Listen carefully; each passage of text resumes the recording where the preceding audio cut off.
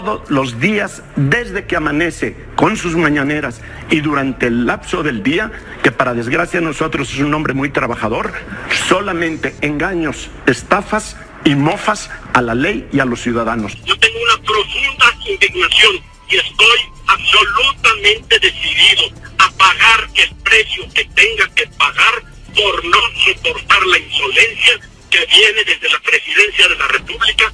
Es autoritario, es intolerante, es lépero, es un cínico, es un desvergonzado, es un bribón de siete suelas, punto. Y por supuesto, es un tipo sin honor y sin vergüenza, en toda la extensión de la palabra, y corrupto. Lo que pasa, mañoso, que le juega al pobrecito. ¿Debemos seguirlo odiando? Con entera libertad, hagan lo que quieran. Yo voy a seguir siendo el mismo. En los últimos días, Diego Fernández de Ceballos ha estado atacando más que nunca a López Obrador en entrevistas, e incluso se ha dado a conocer un audio filtrado hace un tiempo donde Diego dice estar absolutamente decidido a pagar el precio que tenga que pagar para no seguir soportando la insolencia que recibe desde la presidencia de la República, no solo contra él, sino contra sus negocios. ¿A qué se refiere con esto?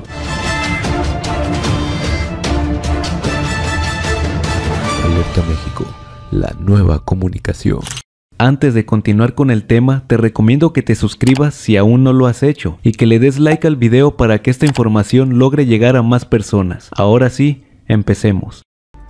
¿Qué tal amigos y amigas? Pues en los últimos días Diego Fernández de Ceballos ha estado muy activo en entrevistas en Milenio, atacando a todo lo que diga y haga López Obrador en las mañaneras, como si se tratara del mismo Vicente Fox. Y bueno, antes de seguir con el tema, debo aclararles que este audio que les mostraré a continuación lleva un par de meses circulando en internet, pero nadie ha hecho un video sobre él. Yo hice uno anteriormente, pero en este video veremos más a profundidad todo esto, pues pienso que es importante recordar este audio tras el suceso que ocurrió con la diputada de Morena, Citlali Hernández, con el libro que no resultó ser un libro. Así que en este video escucharemos el audio filtrado, el origen del odio de Ceballos a Andrés Manuel y cómo ha atacado en los últimos días Fernández de Ceballos a través de Milenio con puras mentiras, obviamente, a todo lo que diga y haga López Obrador en la mañanera, entre muchas cosas más, pues no debemos tomar estas declaraciones a la ligera, y menos en estos tiempos. Empecemos. Bueno, primero escuchemos cómo insultaba Diego a López Obrador durante las elecciones de 2018. No se le puede entregar el país a un iluminado. Si esto es pactar con el frío, con el gobierno para que no llegue López Obrador, habrá que verlo. Lo cierto es que para nosotros cualquier opción será mejor o menos mala que entregar el país a un orate, a un enfermo, a un psicópata. Después de haber escuchado cómo se expresa de López Obrador, ahora sí pasemos a escuchar el audio filtrado de la entrevista. Es una locura, José, lo que está pasando con este gobierno es una vergüenza que teniendo el bono democrático que tiene López Obrador, es una vergüenza que con las expectativas y las esperanzas que ha creado, se reduzca a un actuar todos los días a base de injurias, de descalificaciones, de acusaciones mentirosas y calumniosas. No puede gobernarse así ningún país de la tierra. No puede ser que un hombre confunda su papel histórico de porro, de activista, y de pleitos a un jefe de Estado. Este señor tiene que entender que hay una gran diferencia, una gran diferencia entre ser presidente de la República jefe del Estado mexicano a convertirse simple y sencillamente, como lo he dicho, en un rufián con poder. Eso no se puede permitir. Hoy es contra Calderón, ayer contra la Corte, después contra el INAI, después contra las policías, hace unos días contra el ejército, contra particulares, contra todo mundo, y a base de mentiras y de imputaciones arteras, hace de las suyas desde la presidencia de la República. Yo tengo una profunda indignación y estoy absolutamente decidido a pagar el precio que tenga que pagar por no soportar la insolencia que viene desde la presidencia de la República, no solo contra mí, sino contra todo el que está frente a él o a distancia de él. Se siente con el derecho de injuriar impunemente, pero eso sí, cuando alguien le hace alguna reclamación, su contestación ramplona es que no va a caer en provocaciones cuando es un provocador del tiempo. Ese fragmento que acabas de escuchar fue borrado de la entrevista original entre Luis Cárdenas y Fernández de Ceballos para MBS. Ahora bien, si tú crees que no es real el audio y que es otra persona la que está imitando a Diego, pasemos a ver el origen del por qué odia tanto Ceballos a López Obrador. Pues en este debate del año 2000, en el foro de López Dóriga, Andrés Manuel humilló totalmente a Ceballos. Veámoslo. Aparentemente estabas retirado. Ahora que estoy arriba en las encuestas, que estamos muy bien, de repente Diego. Y entonces, en lógica pura, pues uno, conociéndote, es, el señor Diego ya viene a hacerle el trabajo sucio al régimen. Nada más eh, te quiero decir que nos vas a hacer lo que el viento a Juárez, ¿eh? que te Bueno. quede muy claro. Pero ¿qué no te gustaría mejor que nos empezáramos por respetar? ¿Qué no es, no es indispensable en el trabajo político que haya un mínimo de decoro para respetarse entre adversarios? estamos respetando. No, señor. ¿Y ustedes han respetado al pueblo de México? En el gobierno de Salinas nos asesinaron a cerca de 500 militantes y dirigentes. A ustedes no los tocaron ni con el pétalo de una rosa. Estamos en contra de la privatización de la industria eléctrica y desde luego ¿cuándo va a en contra de la privatización del petróleo. Entonces por eso decimos somos distintos. Lo único que yo cuestiono es, pobre país, donde la honestidad de los políticos sea por no verse la cara, por no encontrarse, por no dialogar, por no cambiar argumentos y razones, por reducir todo a una reyerta, a una pelea de callejón, a una injuria permanente, a una descalificación a todo lo que hace el adversario.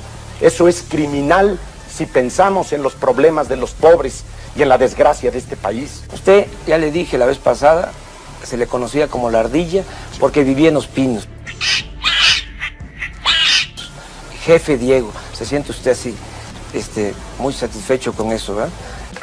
El señor logró su propósito, injuriarme, descalificar a mi partido, manifestar que el señor Cárdenas es la maravilla, que usted es impoluto y que yo soy un criminal. No, hombre, Pero déjeme decirle, lo cierto es usted es un que el debate, Eso es todo. ¿qué soy? Farsante, Gracias. ¿Qué soy? farsante. Gracias. Yo creo que hasta el señor López Obrador puede y debe hacer mucho por este país. Yo creo que hasta el señor López Obrador puede y debe hacer mucho por este país. Si usted se preocupa tanto por los pobres, ayude a que la política se eleve para que podamos encontrarnos los mexicanos. La política es hablar con la verdad, es hacer a un lado la simulación, es decirle a las cosas por su nombre.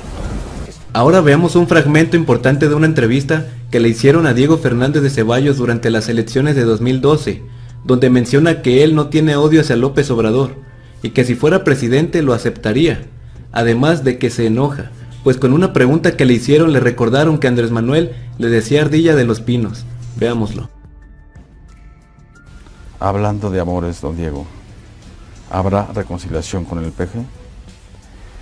Yo no tengo odio, pero tampoco me interesa caer en el juego tramposo de mirarlo ahora como Teresita de Calcuta. ¿Lo aceptaría como presidente? Por supuesto que sí. Él dice que habrá un verdadero cambio. Claro, todo el candidato anda diciendo lo que cree que le conviene, unos con sinceridad, otros no. Yo creo que este es un gran simulador. Parece que ha prometido incluso acabar con las ardillas de los pinos. Pues que acabe. Puede acabar por mi parte hasta con los pinos. Y por último, veamos lo que dice y cómo se expresa Ceballos en estos días en Milenio de lo que hace López Obrador. ¿No que si aceptarías a Andrés Manuel como tu presidente? Pero eh, es, es un falsario de tiempo completo y por supuesto es un tipo sin honor y sin vergüenza en toda la extensión de la palabra y corrupto. Lo que pasa, mañoso, que le juega al pobrecito, porque todo su comportamiento es de estafa. Si todos los que forman parte de la mafia son bienvenidos con tal de que se le entreguen a él, es un acto de corrupción política, de engaño público inmenso. No tenemos precedentes así. Este señor igual condena con la ira de Dios ¿eh? que perdona con la bondad de Dios. Es un enfermo mental, es un corrupto y es un bribón de tiempo completo. Lo que sí sé, que ese en la presidencia no le conviene a México. Punto. Pero toda su trayectoria nos lleva a una conclusión. No es un hombre de honor, no es un demócrata. Es autoritario, es intolerante, es lépero, es eh, alguien que ha venido cultivando todo su proyecto político en función de la división de los mexicanos entre buenos y malvados. ¿Quiénes son los malvados? Los que no están conmigo. ¿Quiénes son los buenos? Los de buena voluntad, los que se pliegan a mi capricho. Eso no puede ser honorable. Hay mucha cobardía también en los demás poderes. Hay mucho de conveniencia y de acomodo. Entonces, ¿lo van a resistir en sus brutalidades, en sus abusos, en sus atropellos? ¿Quién sabe? Yo prefiero a López Obrador de antes, de las campañas pasadas, que dijo aquí no pasa nadie y tisnen a su madre todos los de enfrente, que a la hora que a todos los de enfrente le dice venga para acá, es un cínico, es un desvergonzado, es un bribón de siete suelas, punto. Es un pragmático. Bueno, pues si a, eso le llamas uh, pragmatismo, es un pragmático bribón, cínico y desvergonzado. Como verán, Diego Fernández de Ceballos es un total mentiroso, y aunque la mayoría de ustedes ya lo sepan, aquí queda demostrado con pruebas históricas, y aún así se pone a criticar con puras mentiras y calumnias a López Obrador. Diego tiene demasiada envidia, porque Andrés Manuel sí pudo llegar a ser lo que él nunca pudo, entre muchas otras cosas, ser el presidente de la república. Y para concluir este video quiero decirles que no lo terminaré yo, sino que quiero que lo termine por mí Diego Fernández de Ceballos, respondiendo las siguientes preguntas a continuación. Saludos y nos vemos en un próximo video. Próximo a los 71 años, don Diego. Sí, señor. ¿Ya habrá vivido todo? Hombre, me puede faltar un poco. ¿Y qué nos dejará? No sé. Ojalá el recuerdo de un hombre completo, con virtudes y defectos, pero un hombre en toda la extensión de la palabra. ¿Debemos seguirlo odiando? Con entera libertad, hagan lo que quieran. Yo voy a seguir siendo el mismo. No olvides compartir el video en tus redes sociales. También suscríbete y activa la campanita para que te lleguen todas las notificaciones de los nuevos videos. Porque el poder es una tentación atonta a los inteligentes y a los tontos los vuelve locos.